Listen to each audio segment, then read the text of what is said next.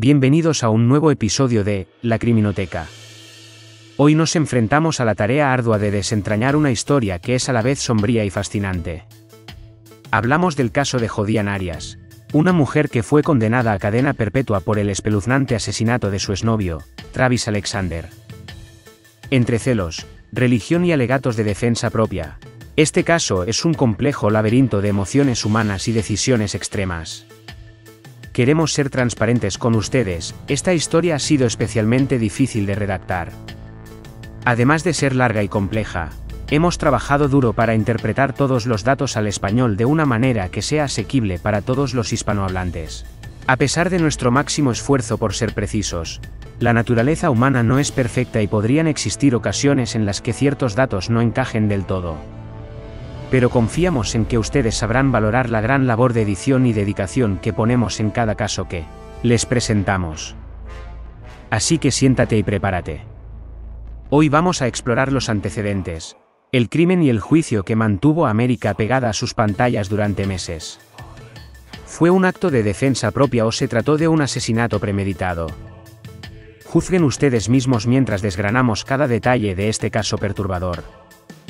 Sin más preámbulos, demos inicio a este episodio que promete ser tan revelador como inquietante. Jodían Arias.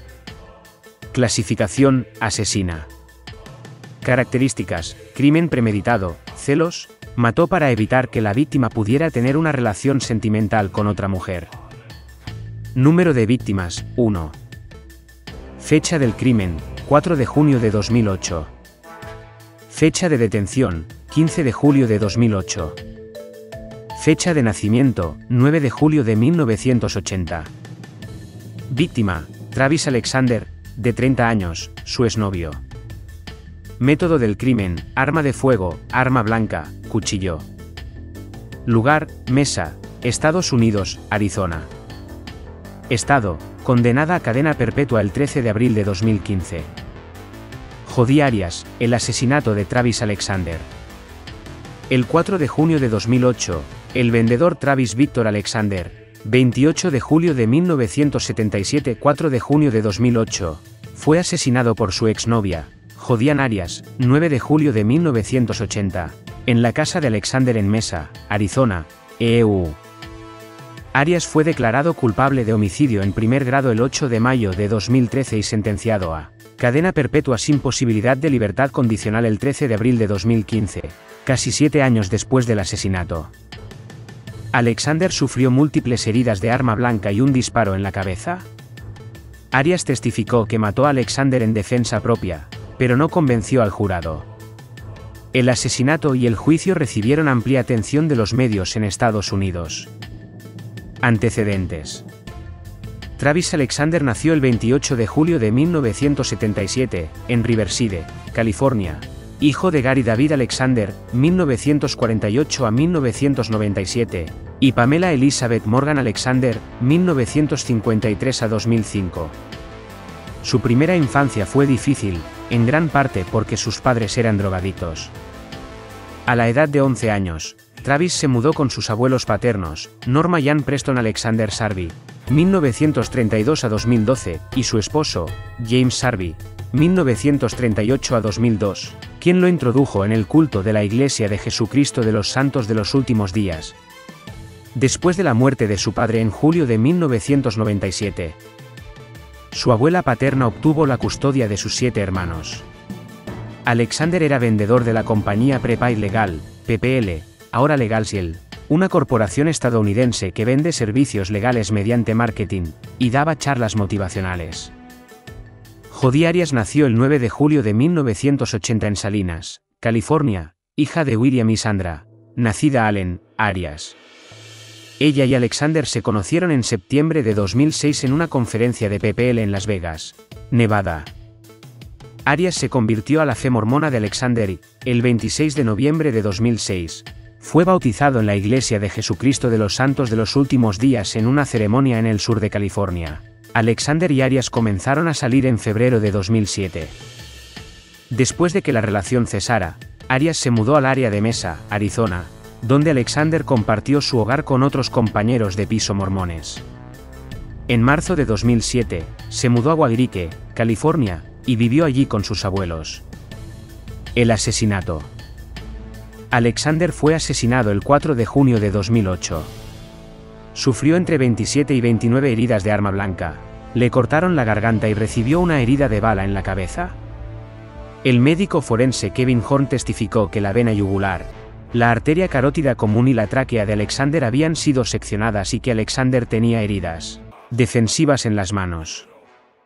Horn declaró, además, que Alexander pudo haber estado muerto en el momento en que le dispararon, y que las heridas de la espalda eran superficiales. La muerte de Alexander fue declarada como homicidio. Fue enterrado en el cementerio de Hollywood, en Riverside, California. Descubrimiento e investigación. A principios de 2008, Alexander comunicó a su empresa que Arias se le uniría en un viaje de trabajo a Cancún, México, programado para el 15 de junio. En abril, Alexander pidió cambiar de compañera de viaje, por otra amiga. El 28 de mayo de 2008, tuvo lugar un robo en la residencia de los abuelos de Arias, con quien ella vivía. Entre los objetos perdidos se encontraba una pistola Colt automática, ACP, calibre 25, que nunca se recuperó. Esto se hizo más significativo cuando en la escena del crimen se encontró casquillo usado de calibre 25 cerca del cuerpo de Alexander. El 2 de junio, entre la 1 y las 3 de la mañana, Arias llamó a Alexander cuatro veces, pero parece que no pudo comunicarse con él, ya que la llamada más larga fue de 17 segundos. Después de las 3 de la mañana, Alexander llamó a Jody Arias dos veces. La primera llamada tuvo una duración de 18 minutos, la segunda, de 41 minutos. A las 4,03 h, Arias llamó a Alexander y la llamada duró 2 minutos, 48 segundos. Ni estas llamadas, ni las transcripciones de ellas, se presentaron en el juicio de Jody Arias.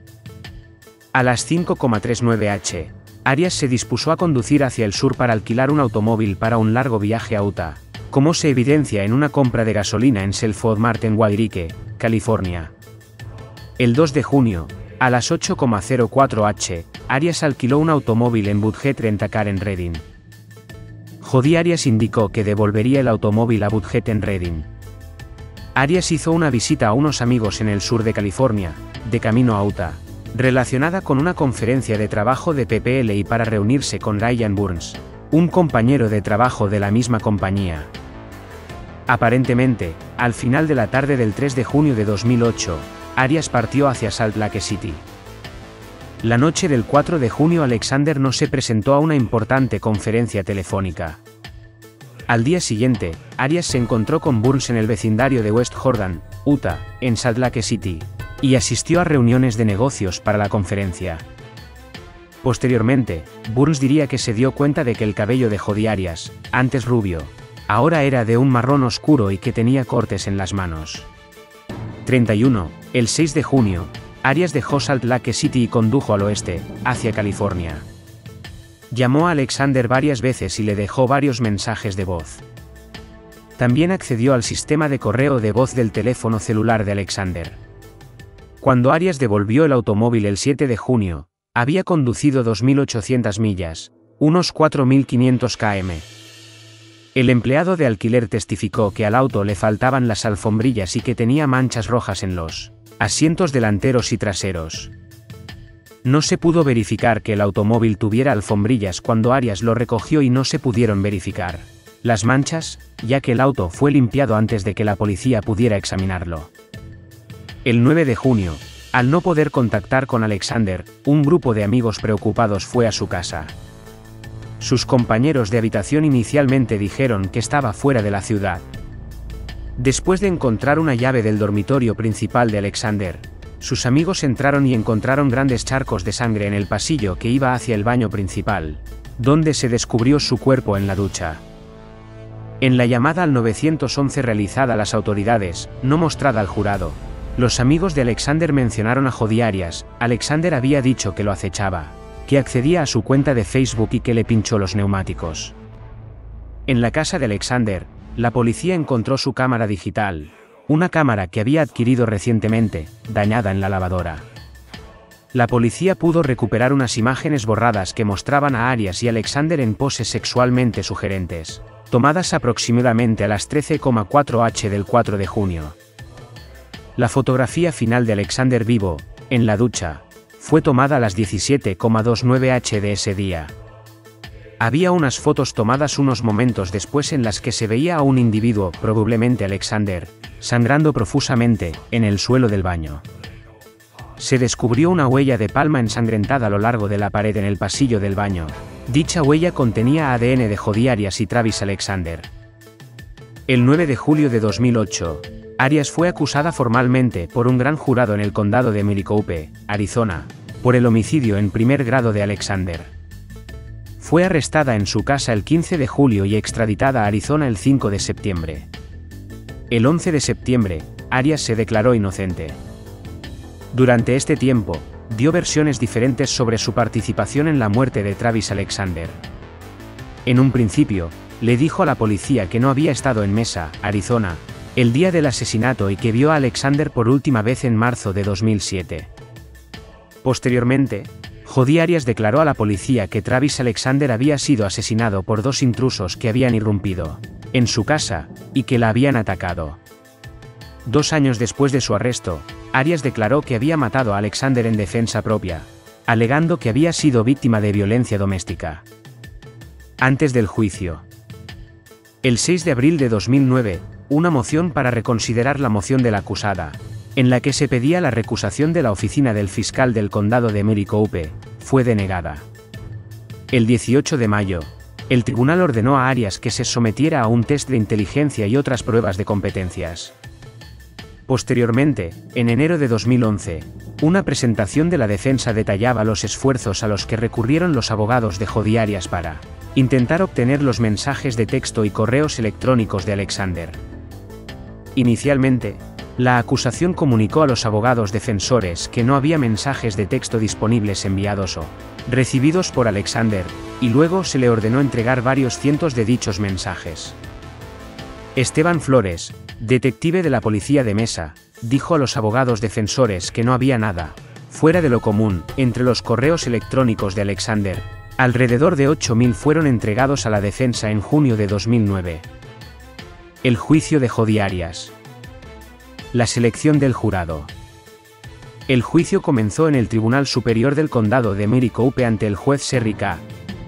Stephens el 10 de diciembre de 2011. La selección inicial del jurado comenzó el 10 de diciembre de 2012.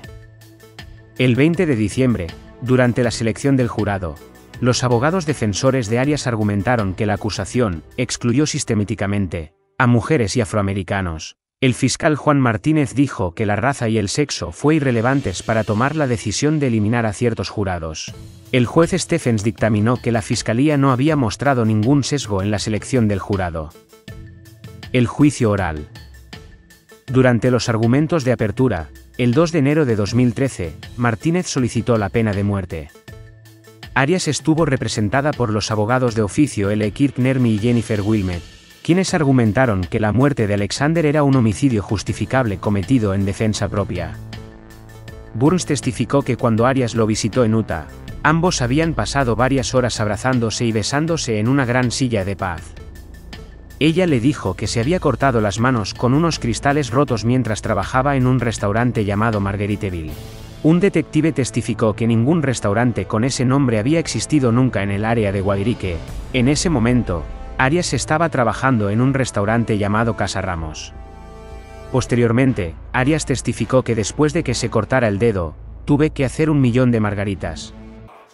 Más tarde, la fiscalía argumentó que dado que se había encontrado una bala calibre 25 cerca del cuerpo de Alexander, y que la semana anterior había sido robada una pistola del mismo calibre en la residencia de Arias en Guairique. Ella había organizado el robo y utilizado el arma para matar a Alexander. Martínez afirmó que Jody Arias había acechado a Alexander y había rajado sus neumáticos en dos ocasiones. Además, en los días previos a su muerte, Alexander la había definido como una sociópata, que era lo peor que me ha pasado, y afirmó que le tenía miedo. Arias dio testimonio en su propia defensa el 4 de febrero de 2013, testificando un total de 18 días. La gran cantidad de tiempo que Arias pasó en el estrado fue descrito por el abogado de defensa criminal Mark Geragos como algo, sin precedentes. En el primer día de su testimonio, Arias narró los abusos violentos de sus padres, que comenzaron cuando ella tenía aproximadamente 7 años. Testificó que había alquilado un automóvil en Reading porque el sitio web de Budget le daba dos opciones, una al norte y otra al sur, y su hermano vivía en Reading. En su segundo día en el estrado, Arias dijo que su vida sexual incluía sexo oral y anal. Dijo que el sexo anal fue doloroso para ella la primera vez que lo experimentaron juntos, y que, aunque ella consideraba que estas formas de sexo eran sexo real, para Alexander no lo eran. Ya que técnicamente no estaban en contra de las reglas mormonas relativas a las relaciones sexuales regulares. Arias dijo que con el tiempo seguían manteniendo relaciones sexuales, pero con menos frecuencia. Curry, Kalin. February 6, 2013. Durante el juicio se oyó una grabación en la que tenían sexo telefónico, en la que Alexander decía que quería atarla a un árbol y mantener sexo anal mientras ella vestía como Caperucita Roja, propuesta a la que Jodí Arias parecía responder con entusiasmo. Arias testificó que Alexander, en secreto, encontraba sexualmente atractivos a niños y niñas, y que ella trató de ayudarlo con esos impulsos. Jody Arias testificó que su relación con Alexander se iba volviendo cada vez más abusiva, física y emocionalmente, Curry, Kalin. Jody Arias describes Violent Sex Before Killing Travis Alexander. Avisines.com, 19 de febrero de 2013. Afirmó que Alexander la agredió físicamente mientras le decía, estoy jodidamente harto de ti, y luego, comenzó a gritarme, después de lo cual él, me golpeó, usando su cuerpo, en el suelo, a los pies de la cama, y se burló de ella, diciendo, no hagas eso, duele, antes de llamarla perra y darle una patada en las costillas.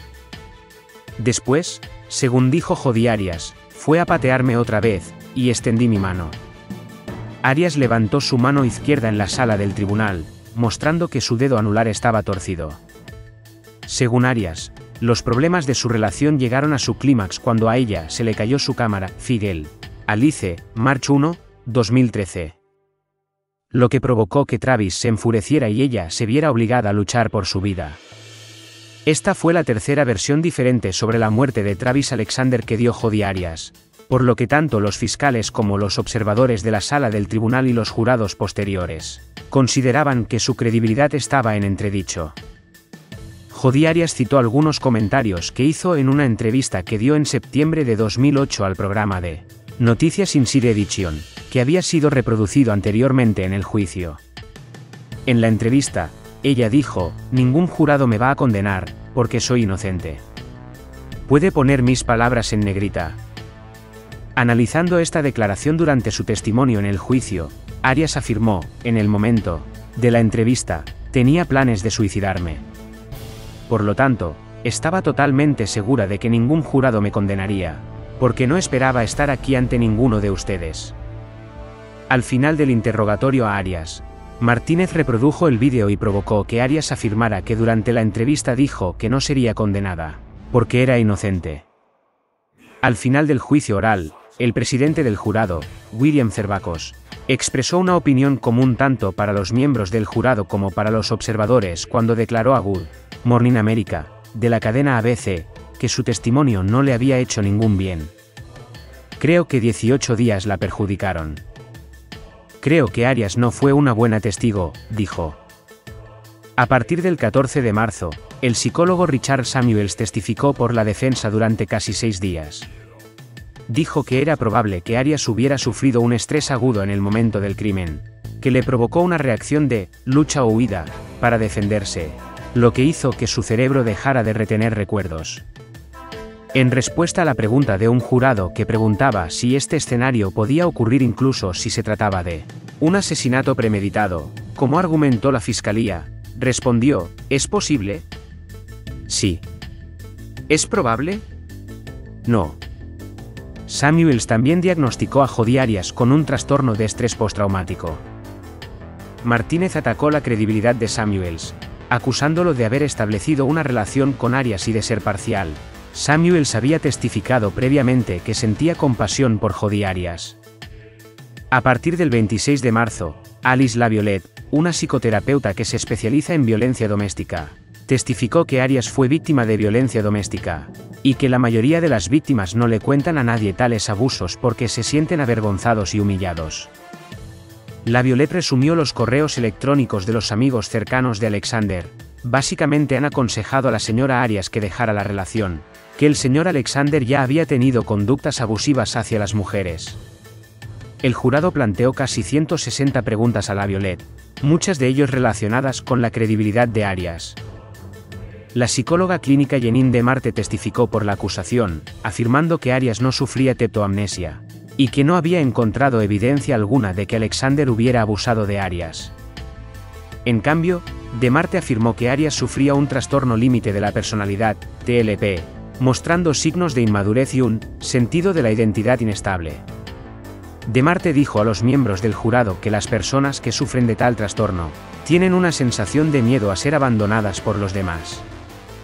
El último testigo de la defensa fue el psicólogo Dr. Robert Geffner, quien dijo que el diagnóstico de personalidad límite de Demarte no era apropiado, y que todas las pruebas realizadas por Arias desde su detención apuntaban hacia un trastorno de ansiedad derivado de un trauma.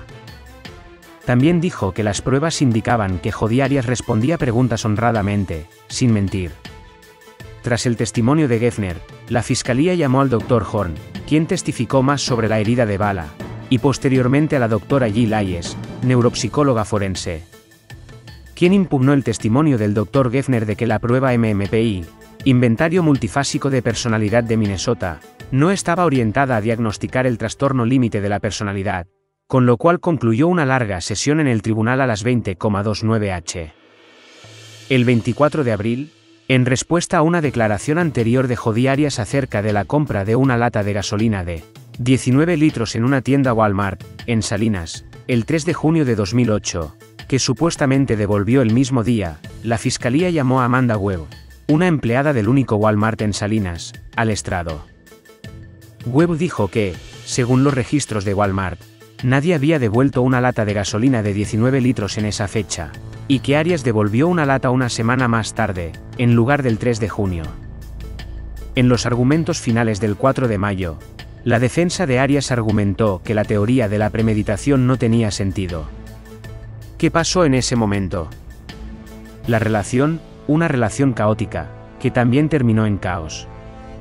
No hay nada sobre lo que sucedió el 4 de junio en ese baño que parezca planificado. No podría ser también que, después de haber pasado las de Caín en esa relación, ella sencillamente rompiera. En última instancia, si la señorita Arias es culpable de algún crimen, es el crimen de homicidio justificable y nada más. En la réplica, Martínez describió la extensión y variedad de las heridas de Alexander. No hay evidencia de que alguna vez le haya puesto una mano encima. Nada indica que esto sea menos que una carnicería. No había forma de apaciguar a esta mujer que, simplemente, no lo dejaba en paz. El testimonio de Arias se añadía a una parte muy larga de la defensa en el juicio oral, lo que dio lugar a problemas con la capacidad retención de los miembros del jurado. El 3 de abril, un miembro del jurado fue despedido por falta de ética. El equipo de la defensa solicitó la nulidad del juicio, a lo que el juez se negó. El 12 de abril, otro jurado fue excusado por razones de salud. Un tercer miembro del jurado fue despedido el 25 de abril después de ser arrestado por conducir borracho. El 25 de abril de 2012, los costos de defensa habían subido a casi 1,7 millones de dólares, pagados por los contribuyentes. El 7 de mayo de 2012, después de 15 horas de deliberación, Arias fue declarada culpable de homicidio en primer grado. De los 12 jurados, 5 miembros del jurado la declararon culpable de homicidio premeditado en primer grado, y 7 miembros del jurado la declararon culpable de homicidio premeditado en primer grado y homicidio preterintencional. Cuando se leyó el veredicto de culpabilidad, la familia de Alexander sonrió y se abrazó. La gente fuera de la sala del tribunal comenzó a vitorear y cantar. Fase de agravamiento. Después de la condena por homicidio en primer grado, se requirió que la Fiscalía convenciera a los miembros del jurado de que el asesinato fue cruel, atroz o depravado, para que ellos determinaran que Arias era elegible para la pena de muerte. La fase de agravamiento del juicio comenzó el 15 de mayo de 2013. El único testigo fue el médico forense que realizó la autopsia. Los abogados de Jodi Arias, que habían pedido reiteradamente su recusación, hicieron solo declaraciones breves de apertura y los argumentos finales. En los que dijeron que la adrenalina que recorría el cuerpo de Travis Alexander podría haber evitado que sintiera mucho dolor durante su muerte. El fiscal Martínez mostró fotos del cadáver y la escena del crimen al jurado, Luego se estuvo dos minutos en silencio para ilustrar cuánto tiempo tardó en morir Alexander a manos de Arias. Tras algo menos de tres horas de consideración, el jurado determinó que Arias era elegible para la pena de muerte. Fase de sentencia. La fase de sanción comenzó el 16 de mayo de 2013, cuando los fiscales llamaron a los familiares de Alexander para que tuvieran la oportunidad, como víctimas, de dar su testimonio, algo común en el derecho estadounidense, en un esfuerzo por convencer al jurado de que el crimen de Arias merecía la pena de muerte. El 21 de mayo de 2013, Jodi Arias ofreció una locución, durante la cual suplicó la cadena perpetua. Arias reconoció que su súplica era una inversión de los comentarios que hizo a un reportero de televisión poco, después de su condena, cuando dijo que prefería la pena de muerte. Cada vez que lo dije, lo decía en serio, pero carecía de perspectiva, afirmó. Hasta hace muy poco, no me podía imaginar que estaría frente a ustedes pidiéndoles que me permitieran vivir.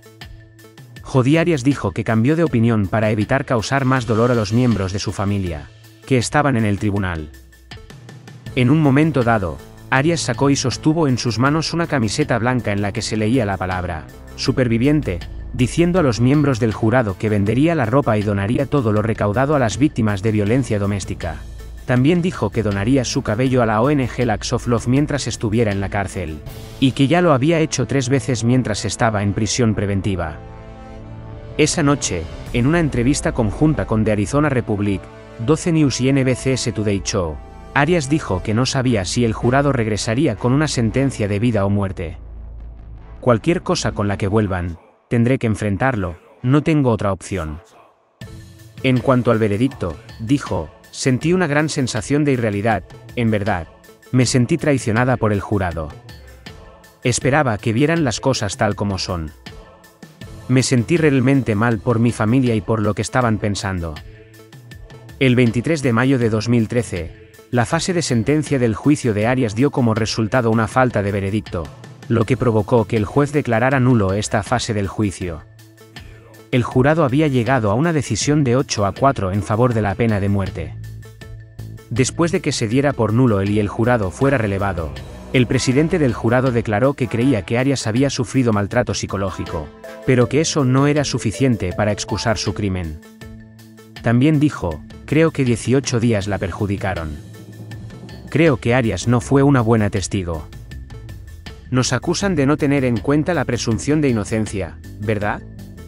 Pero ella estuvo en el estrado demasiado tiempo, hubo demasiadas historias contradictorias dijo que el jurado consideró abrumadora la responsabilidad de decidir una pena de muerte, pero se horrorizó cuando sus esfuerzos terminaron en una anulación. Al final, estábamos mental y emocionalmente agotados, dijo. Creo que nos horrorizamos cuando descubrimos que en realidad habían pedido la nulidad del juicio y sentimos que habíamos fallado. El 30 de mayo de 2013, el abogado del condado de Maricopa, Bill Montgomery, comentó los siguientes pasos en una conferencia de prensa. Dijo que confiaba en que se podría formar un jurado imparcial, pero era posible que los abogados y la familia de la víctima pudieran acordar anular el juicio en favor de una cadena perpetua sin libertad condicional. Arias había dicho, no creo que haya un grupo de jurados no contaminado en ninguna parte del mundo en este momento. Eso es lo que siento pero todavía creo en el sistema hasta cierto punto, así que si eso sucede simplemente lo aguantaremos. Los abogados defensores respondieron, si el diagnóstico realizado por el psicólogo del Estado es correcto, la oficina del fiscal del condado de Maricopa está tratando de imponer la pena de muerte a una mujer, mentalmente enferma que no tiene antecedentes penales. No le incumbe a la defensa de la señora Arias resolver este caso. Apelaciones. Durante el juicio, los abogados de la defensa solicitaron la anulación del juicio en enero, Abril y mayo de 2012. En enero, los abogados de Arias argumentaron que el detective Esteban Flores, el investigador principal en este caso de la policía de Mesa, cometió perjurio durante una audiencia previa al juicio de 2008 para determinar si la pena de muerte debería ser considerada como una opción para los jurados. Flores testificó en la audiencia de 2009 que, según su propia revisión de la escena y una conversación con el médico forense, era evidente que Alexander le habían disparado primero en la frente. El médico forense dio al jurado un testimonio contrario al de Flores en la audiencia de 2009, al afirmar que el disparo probablemente habría incapacitado a Alexander, teniendo en cuenta sus numerosas heridas defensivas, que incluían marcas y heridas de arma blanca en las manos, brazos y piernas. No era probable que el disparo fuera previo al acuchillamiento. Flores negó haber cometido perjurio y durante su testimonio en el juicio dijo que simplemente había malinterpretado lo que le dijo el médico forense. En abril, la defensa dijo que el fiscal había actuado de manera inapropiada y afirmó que el caso se parecía a un equivalente moderno al juicio de las brujas de Salem. En la moción, el equipo de la defensa sostuvo que, la mala praxis del fiscal ha infestado estos procedimientos con un nivel de injusticia que no pueden ser subsanados por ningún otro medio.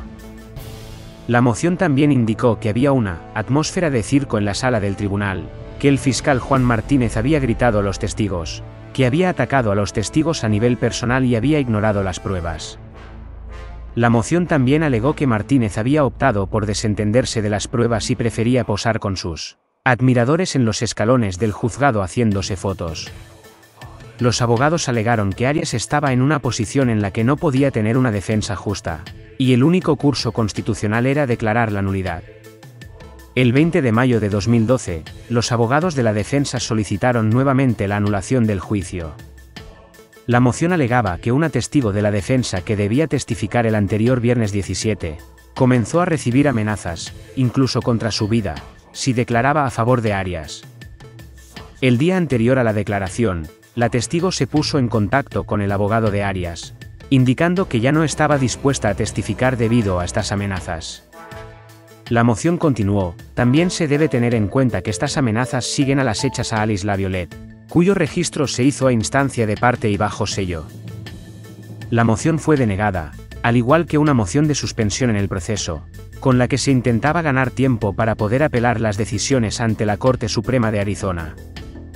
El 29 de mayo de 2013, la Corte Suprema de Arizona se negó a escuchar una apelación presentada tres meses antes, también rechazada por la Corte de Apelaciones de Nivel Medio de Arizona.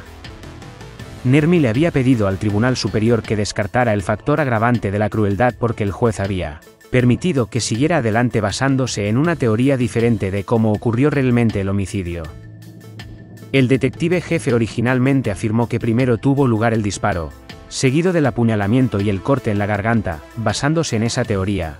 Stephens dictaminó que había una causa probable para encontrar que el crimen había sido cometido de una manera especialmente cruel, un factor agravante bajo la ley estatal. Después de esta audiencia inicial, el médico forense testificó que el disparo tuvo lugar después de la muerte. Nueva fase de sentencia. El 21 de octubre de 2013, comenzó un nuevo juicio de sentencia para Jodi Arias. Se hicieron las declaraciones de apertura y se llevó a cabo una audiencia sobre pruebas. Amanda Webb, testigo de la acusación, fue llamada en el primer juicio para refutar el testimonio de Arias según la cual devolvió una lata de gasolina a Walmart el 8 de mayo de 2007. En esta ocasión admitió que no sabía si todos los registros se transfirieron después de que la tienda se trasladara. Después de un receso por vacaciones, el proceso se reanudó en enero de 2014. Los expertos de la policía de mesa admitieron que la computadora portátil de Alexander tenía virus y pornografía, contradiciendo los testimonios del primer juicio en 2013. Las deliberaciones del jurado comenzaron el 12 de febrero de 2014. Schwartz, David, 26 de febrero de 2015. El 2 de marzo de 2014, el jurado informó al juez Stephens de que estaban estancados. Los abogados de Arias pidieron la anulación de la audiencia. Stephens negó la solicitud, leyó instrucciones adicionales al jurado y les ordenó reanudar las deliberaciones. El 5 de marzo de 2014, Stephens declaró la nulidad, porque los miembros del jurado, que deliberaron durante aproximadamente 26 horas durante cinco días, se estancaron con 11 votos a favor de la pena de muerte contra uno en contra.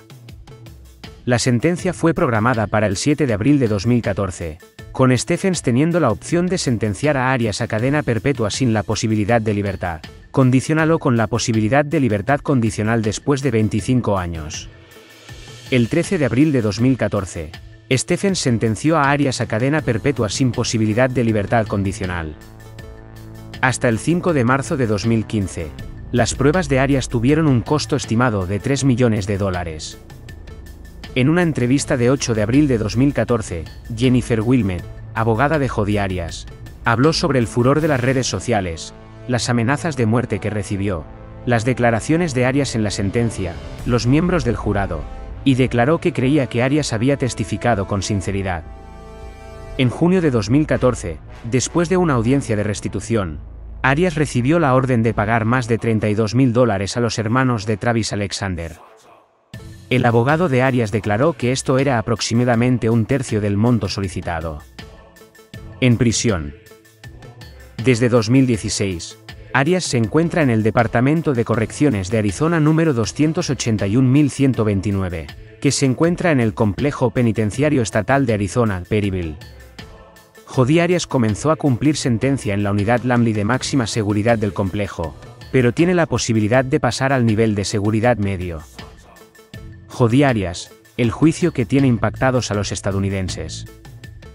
21 de febrero de 2013. La hispana Jodi Arias, hija de padre mexicano y madre alemana, acusada de matar a su novio, podría enfrentar la pena de muerte de ser hallada culpable, a pesar de argumentar defensa propia. El mediático juicio contra la hispana Jodi Arias, acusada de haber matado a su novio, continuó con el testimonio de la mujer, que admitió ante el jurado haber disparado a su pareja en defensa propia, pero que no recuerda el apuñalamiento. Después de varios días de testimonio, Arias, de 32 años, relató ante la corte los hechos ocurridos en Mesa, Arizona, el 4 de junio de 2008, cuando supuestamente mató a Travis Alexander, con quien mantuvo una relación tormentosa por varios años. La acusada dijo que ese día se encontraban juntos en el baño tomando fotografías del desnudo, cuando a ella se le cayó la cámara, lo que provocó la ira de Alexander relató que salió corriendo buscando refugio en un armario, donde recordó que se encontraba un arma de fuego que tomó entre sus manos y salió del lugar. Le apunté tratando de evitar que se acercara a mí, cuando me sujetó por la cintura. Hubo un forcejeo y el arma se disparó sin que me diera cuenta, dijo Arias.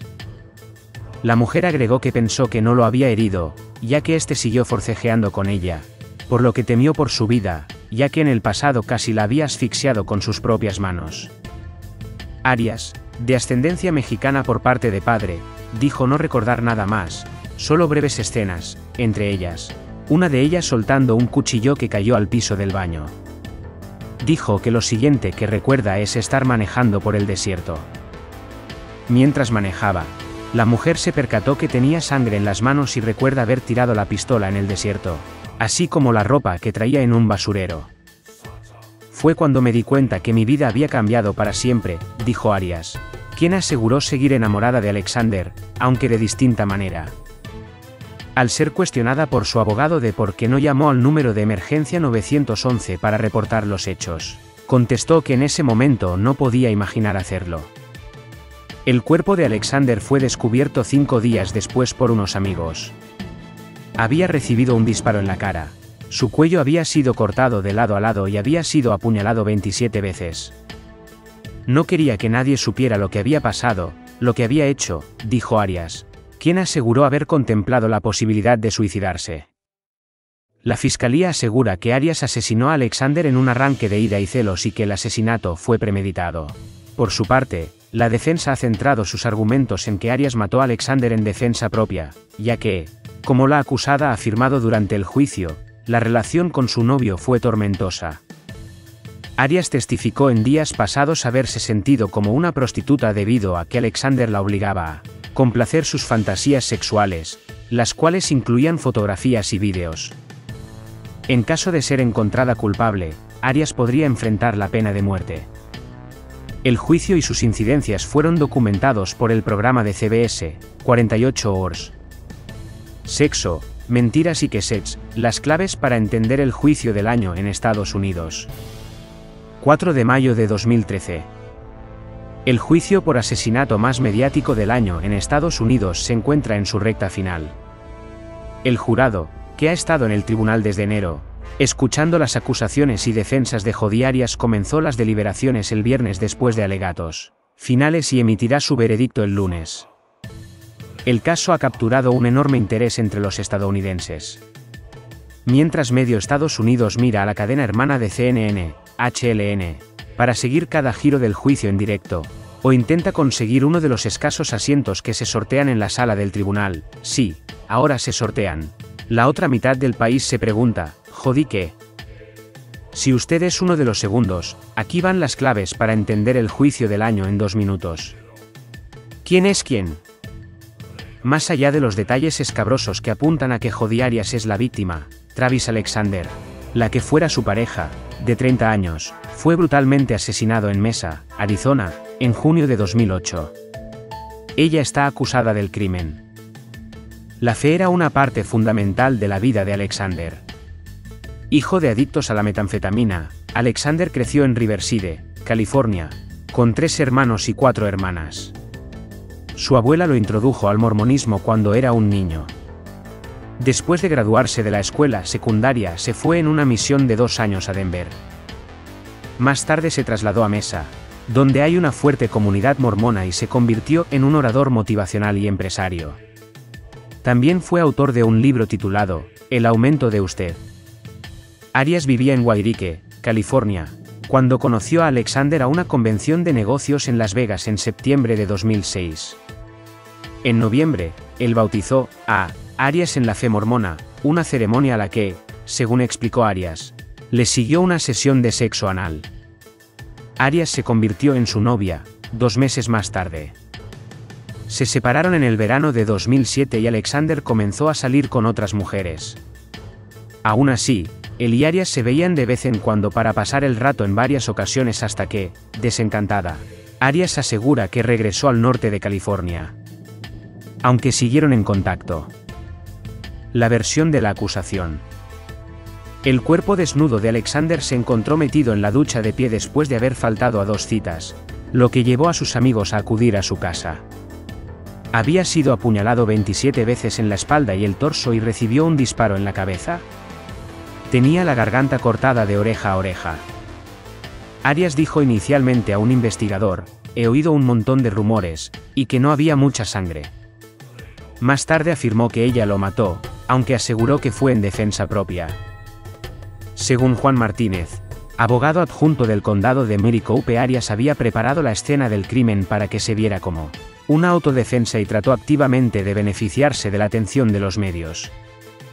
Antes de la muerte de Alexander, Martínez asegura que Jodi Arias robó una pistola del calibre 25 a sus abuelos, alquiló un coche en Redding, California, apagó su teléfono celular y compró bombonas de gas para que no hubiera ningún registro que estaba en Arizona.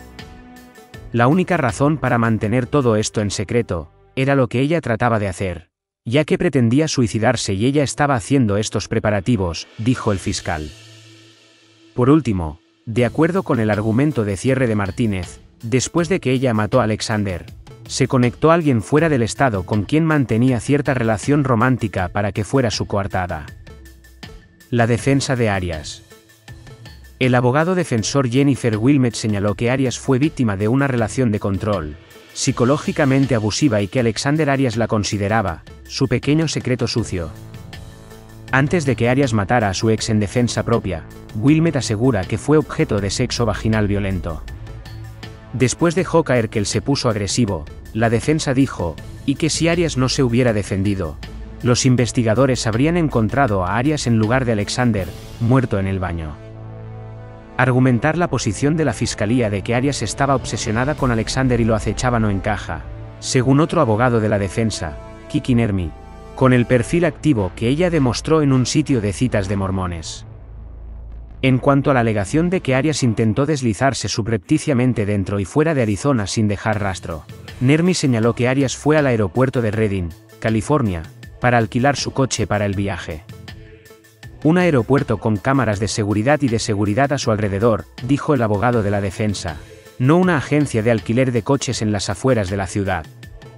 Un aeropuerto que no tiene ningún sentido si usted está en una misión secreta. Nermi también cuestionó el argumento de la fiscalía respecto al gas, diciendo que Arias pudo haber evitado un rastro de papel, simplemente mediante el pago en efectivo. Fascinación. Si usted no se había dado cuenta, ahora entenderá por qué el caso ha traído a las masas. Está lleno de sexo, mentiras y las imágenes digitales, muchas de ellas morbosas. Arias misma tuiteando desde la cárcel a través de un proxy, por supuesto, criticando a HLN y al fiscal Martínez, y la dirección de los seguidores de un sitio web que vende arte en su nombre. Para algunos medios de comunicación, el caso es de oro. HLN ha creado un espectáculo, After Dark, de Trialjo Diarias, que invita en el estudio y a la audiencia en el hogar a debatir los argumentos de la jornada en el juicio. Su sitio web ofrece todas las facetas del caso, incluyendo una galería de fotos que contiene 180 fotos de prueba. El Huffington Post tiene una cobertura similar, y KPHO y KNVX en Phoenix ambas afiliados a CNN tienen páginas de prueba especiales, en sus sitios web. Antes de que usted ponga el grito en el cielo porque unos medios de comunicación sensacionalistas se benefician de una muerte espantosa, sean conscientes de que la gente está pidiendo a gritos la cobertura. HLN ha disfrutado de votaciones que aumentaban de forma masiva desde que comenzó el juicio, y la gente llegaba a conducir horas para ver el juicio en directo. Los espectadores comenzaron a hacer cola el viernes a la una de la madrugada, más de seis horas antes de que el tribunal abriera, para conseguir un asiento, según KPHO. Hasta el 25 de abril, el público tuvo acceso a la sala por orden de llegada, pero el juez lo cambió a un sistema de sorteo para los alegatos finales, según informó la emisora. Everardo MC Farlane de Phoenix no estaba muy satisfecho con el cambio, ya que estaba en primera fila el viernes, pero no logró una plaza en el sorteo. Solo espero que se haga justicia. R. de Williams, de Amarillo, Texas, no tenía el lujo de un corto trayecto en coche para llegar a la ciudad. Son 10 horas parando dos veces para cargar combustible. No traje latas de gasolina adicionales, dijo Williams, haciendo una broma sobre un argumento clave en el caso. Posibles consecuencias. ¿Qué le puede pasar a Arias es una incógnita. Si el jurado no logra un acuerdo podría enfrentar un nuevo juicio. La Fiscalía reclama una condena por asesinato en primer grado, ya que su caso ha girado en torno a la premeditación de Arias para el crimen. Si es declarada culpable, Arias se enfrentará a un mini juicio para determinar si ella mató a Alexander de forma cruel y sabía que iba a sufrir.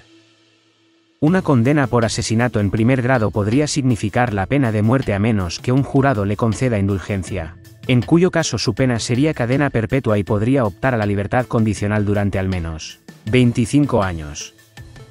Si el fiscal no puede probar la premeditación, Arias podría ser condenada por asesinato en segundo grado, de 10 a 22 años de cárcel. Asimismo, el jurado puede decidir que Arias mató a Alexander imprudentemente o que él la atacó. Habría entonces posibilidad de ser declarada culpable de homicidio involuntario. Si por último, el jurado la considera, considera, no culpable o determina que actuó en defensa propia y que sus acciones eran razonables, ella entonces sería libre para perseguir su sueño de convertirse en un fotógrafo profesional, y el circo mediático debería mudarse a otra ciudad. Jodiarias, dramático caso de violencia que conmocionó a la opinión pública. 4 de abril de 2014. Jodiarias es de ascendencia mexicana por parte de padre y en mayo pasado fue declarada culpable tras un juicio, que duró cinco meses por el asesinato en primer grado de su novio Travis Alexander. Alexander era un hombre de negocios y conferencista en charlas sobre motivación. Después de que la policía encontró su cuerpo descomponiéndose en la ducha de su apartamento en Arizona, con un tiro en la cara y apuñalado 27 veces el 9 de junio de 2008, Arias era la principal sospechosa. El sitio Semana siguió el caso judicial, en el que la mujer negó tener conocimientos sobre crimen, pero su versión cambió cuando le informaron que entre las pruebas estaba la huella sangrienta de la palma de su mano, en la pared. ¿Usted mató a Travis Alexander? le preguntó el abogado de la defensa Arias, Kirk Newmy. Sí, replicó ella. La respuesta simple es que él me atacó y yo me defendí. La policía encontró como pruebas una cámara fotográfica dentro de la lavadora que contenía fotografías del día del crimen mientras Travis se duchaba. Jody Arias confesó ante el jurado que conoció a Alexander en una convención en septiembre de 2006 en Las Vegas y la atracción fue instantánea, aunque ella le admitió que vivía con su novio. Cuando ella volvió a su casa en California se llamaban por teléfono casi todos los días. Al finalizar la semana terminó con su novio para poder salir con él. Los encuentros de la pareja eran en hoteles y moteles, encuentros apasionados y agitados, dado que Alexander tenía sus gustos particulares. La pareja se volvió oficial en febrero de 2007, hasta que Arias encontró que Alexander estaba coqueteando con una mujer mormona casada en MySpace. Jody relató que el día de la muerte de Alexander se estaban tomando fotos desnudos en la ducha y a ella se le cayó la cámara accidentalmente, lo que enojó a Alexander. Con furia, él la tiró con fuerza contra el piso, gritándole. Ella corrió al closet para escapar de él, pero podía oír cómo él la seguía. Agarró una pistola que estaba en un estante de su closet y trató de salir corriendo. Le apunté con mis dos manos. Pensé que eso lo pararía pero venía corriendo hacia mí. Se tiró encima de mí, me agarró de la cintura y en la lucha la pistola se disparó. Yo no tenía la intención de disparar. Ni siquiera sabía que estaba apretando el gatillo. Pero se tiró en contra mía y yo me caí muy duro en el piso de cerámica. No me di cuenta que estuviera herido, estábamos luchando. Me estaba agarrando la ropa y yo me levanté, él está gritando fuera de sí, me dijo, te mato perra, sostuvo Arias. Durante el juicio, Arias, aseguró que fue víctima de violencia doméstica y habría actuado en defensa propia. Los argumentos de la acusada no convencieron al jurado que la declaró culpable, aunque no pudo llegar a una decisión sobre si Arias merecía ser sentenciada a la pena de muerte. Después que Jodi Arias fuera condenada de asesinato en primer grado por la muerte de su exnovio, se mantiene vigilada durante las 24 horas en una celda pequeña y alejada de cualquier objeto que pueda ocasionarle la muerte, luego de declarar que prefería la pena de muerte que vivir el resto de su vida en prisión. Jodi Arias mató a su novio después de un día de sexo duro. 14 de enero de 2015. La Corte Superior del Condado Maricopa en Arizona dio a conocer el martes el testimonio secreto dado a puerta cerrada por la hispana Jodi Arias en el segundo juicio en su contra donde lucha por evitar ser sentenciada a la pena de muerte por el asesinato de su novio. Según los documentos, dados a conocer debido a la insistencia de varios medios de comunicación por tener acceso al testimonio de Arias, en las primeras preguntas, la acusada admite haber matado a su novio Travis Alexander. Al ser cuestionada por su abogado defensor, la hispana aseguró que le tomó dos años aceptar su culpabilidad, porque ni ella misma creía que había sido capaz de haber hecho algo tan horrible. Nunca me imaginé que podría hacer eso a otro ser humano, dijo Arias. Indicó sentir remordimiento por las series de mentiras que dijo a lo largo de la investigación del caso y reconoció que cuando dejó un mensaje en la máquina contestadora de Alexander sabía que había hecho algo mal. El testimonio está compuesto por dos partes. El primero, que consta de 144 páginas, proviene de las declaraciones hechas por Arias el pasado 30 de octubre, y el segundo, que consta de 105 páginas, proviene de las declaraciones del 3 de noviembre. Varios medios de comunicación presentaron una petición para conocer y obtener el testimonio del testigo, secreto, por el cual todas las personas fueron obligadas a salir de la corte para que diera su testimonio. Después se supo que ese testigo fue la misma Arias, quien el año pasado fuera declarada culpable del asesinato en primer grado de Alexander en su apartamento en Mesa, Arizona en el 2008. El cuerpo del hombre fue encontrado en un baño de sangre, con 30 heridas de cuchillo, su cuello cortado y un tiro en la cabeza. Aunque al principio se declaró inocente, Arias luego admitió haberlo matado después de un día de sexo duro. La mujer también aseguró haber sido víctima de violencia doméstica. El nuevo juicio que comenzó el pasado mes de octubre ha estado plagado de controversias. comenzando por la decisión de la juez de prohibir que los medios de comunicación transmitieran vídeo en vivo de los procedimientos tal y como ocurrió durante el primer juicio en su contra.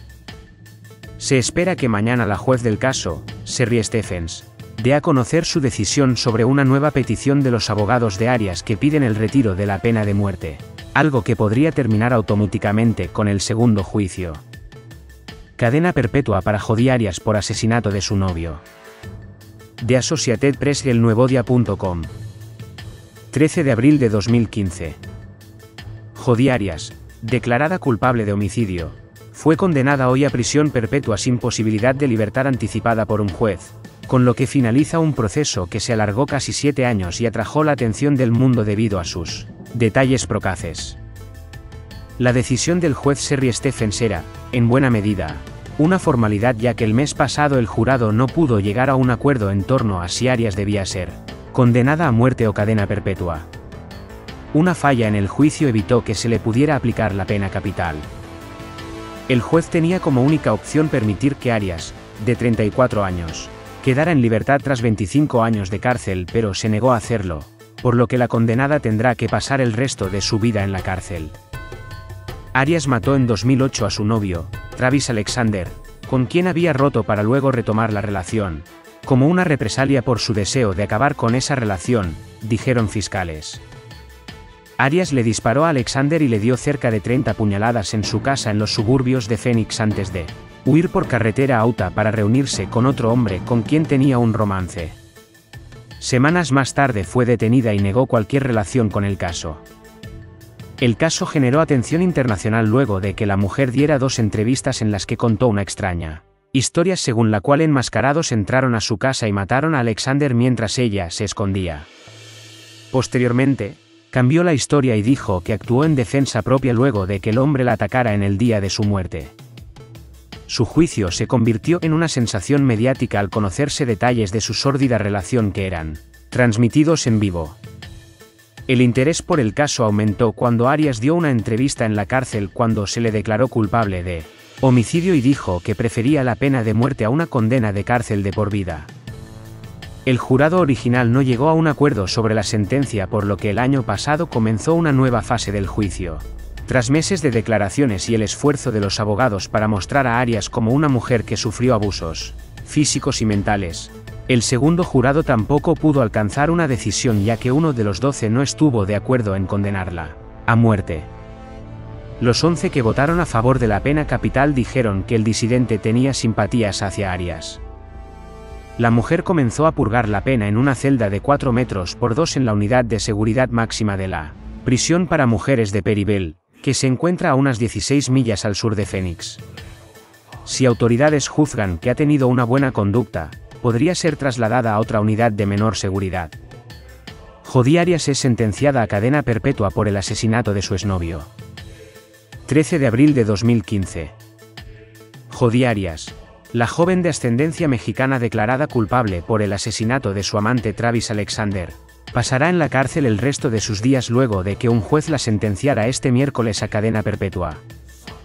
La familia de la víctima tuvo que esperar siete años para poder conocer la sentencia de la mujer que le quitó la vida a Alexander, quien fue degollado y apuñalado, además de haber recibido un tiro en la cara, el 9 de junio de 2008.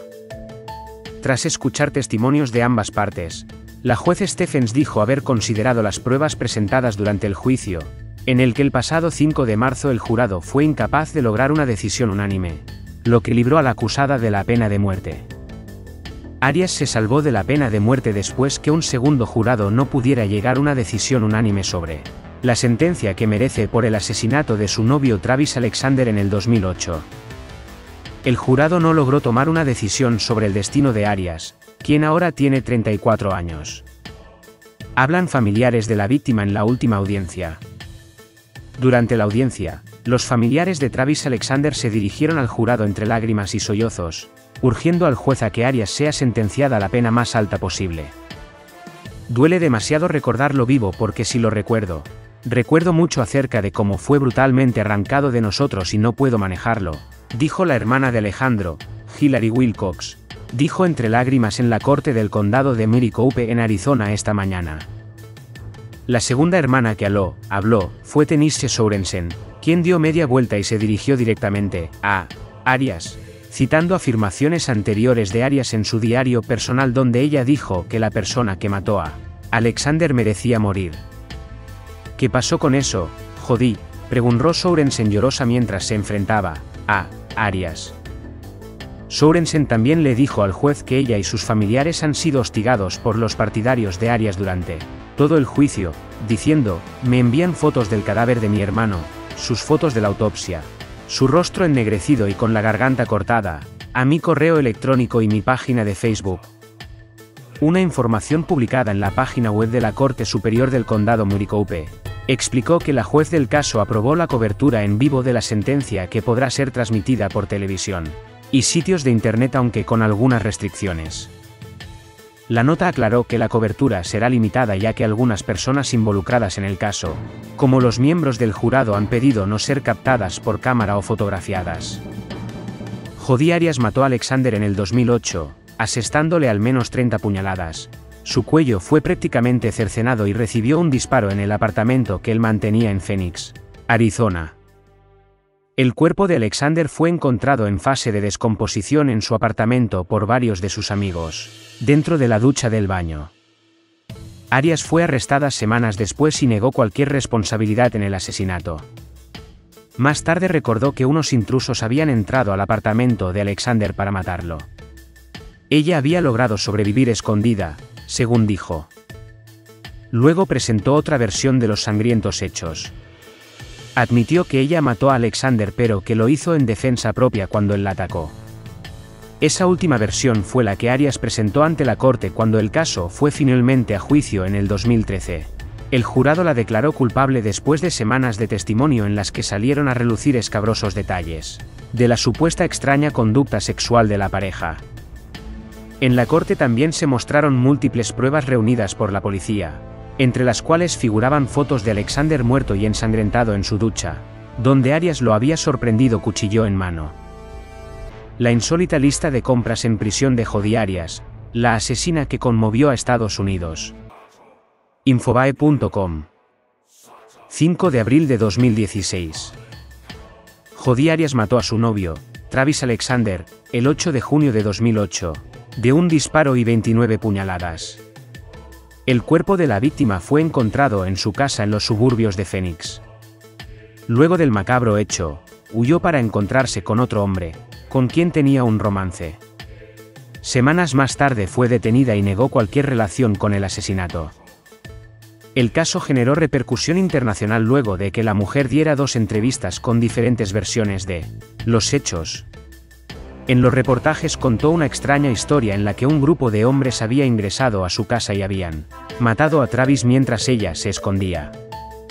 Posteriormente dijo que actuó en defensa propia luego de que su exnovio la atacara. El asesinato de Travis Alexander conmovió no solo a Arizona, sino a todo Estados Unidos. Fue a manos de Jodi Arias, quien no convenció al jurado al intentar explicar que lo apuñaló 29 veces, en defensa propia, las revelaciones sobre sexo, pornografía, celos desbordantes y obsesión dieron el marco perfecto para que el caso interesara a la nación entera. Hace un año, Arias fue condenada a pasar el resto de su vida en prisión. Sus escándalos dentro del penal de Peribel, Arizona, son frecuentes, y los castigos a pasar aislada sin contacto humano también. Pero su obsesión por lo sexual parece inalterable, según reveló el sitio Radar, que tuvo acceso a un extracto de su lista de compras semanal desde inicios de año. En los penales de mujeres es común que muchas convictas utilicen cepillos de dientes como si fueran juguetes sexuales. Eso es lo que hizo Arias, desde enero pasado. Encargó 10 tipos diferentes de estos elementos con mango irregular. Pero no se trataría de una dedicada higiene bucal, a sus guardiacárceles nunca les encargó pasta de dientes. También compró Tinaxin, una crema especial que permite luchar contra los hongos del cuerpo. Compró dos unidades en tan solo una semana. También TAC, una medicación contra las hemorroides, y crema neutrógena contra el acné facial. Luego de insultar a una guardia cárcel, Arias también decidió comprar un diccionario para mejorar su vocabulario. El hecho ocurrió a principios de febrero y por ese motivo fue confinada a seis meses de aislamiento sin contacto con otras reclusas. Dentro de su celda, parecería que también se preocupa por su pelo. Compró acondicionador con extracto de aceite de oliva, vitamina y un champú que le permite aclarar el pelo a diario. Y al tiempo que encargó lociones para el cuerpo y desodorante para oler mejor, también encargó otro medicamento llamado Veano, que sirve para tratar problemas de gases. Para comer mientras pasa horas pintando en su celda, la asesina de Alexander pidió semanalmente sardinas, papas fritas, pistachio, almendras, copos de salmón, panceta de imitación y mayonesa. Conclusión.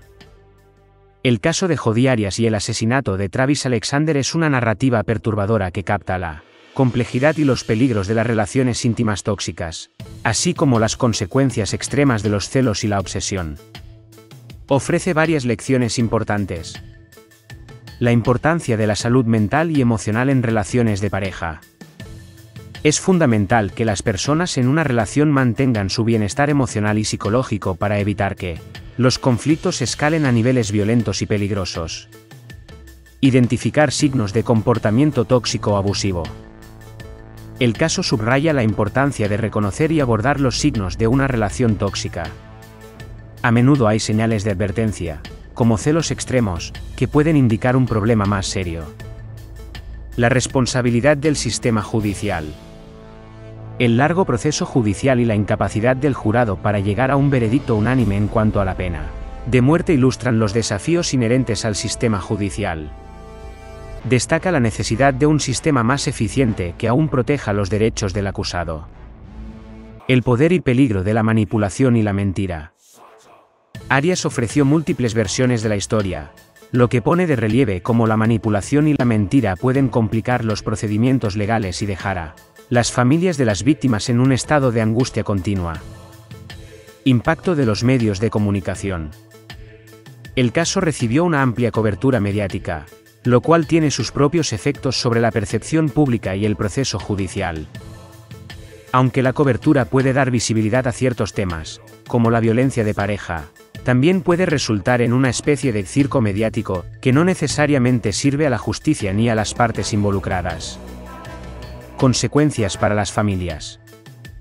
Las familias de ambas partes se ven profundamente afectadas, no solo por el crimen en sí sino por el largo proceso judicial. Este caso destaca el sufrimiento extendido que un acto de este tipo puede infligir en muchas vidas. Vida en prisión. Las actividades y comportamientos de Arias en prisión ilustran cómo incluso después de la condena, las repercusiones del caso continúan, tanto para ella como para la sociedad. Se plantean preguntas sobre el propósito y la eficacia de la pena de prisión a largo plazo, así como sobre el bienestar de los reclusos. En resumen, el caso de Jodiarias es un estudio complejo en psicología humana, justicia penal y la intersección de ambos. Sirve como una advertencia severa sobre cómo las relaciones personales pueden desencadenar una serie de eventos trágicos cuando están teñidas de emociones negativas como los celos y la obsesión. Y así concluye nuestro análisis del caso de Jodiarias y Travis Alexander, un episodio que ha dejado una huella indeleble en la psique colectiva y en el sistema de justicia de Estados Unidos. Esta historia, plagada de emociones intensas, relaciones tóxicas y decisiones fatales, sirve como un recordatorio sombrío de las profundidades a las que puede llegar el comportamiento humano cuando está impulsado por la obsesión, los celos y la ira. También nos recuerda la importancia de la salud emocional, la toma de decisiones éticas y la necesidad de un sistema judicial que equilibre de manera efectiva la búsqueda de justicia con el respeto a los derechos civiles. Esperamos que las lecciones extraídas de este caso sirvan como un llamado a la reflexión para cada uno de nosotros en nuestras propias vidas y relaciones. Gracias por acompañarnos en este difícil pero necesario viaje al corazón de uno de los casos más impactantes y complejos de la crónica judicial estadounidense. Hasta la próxima.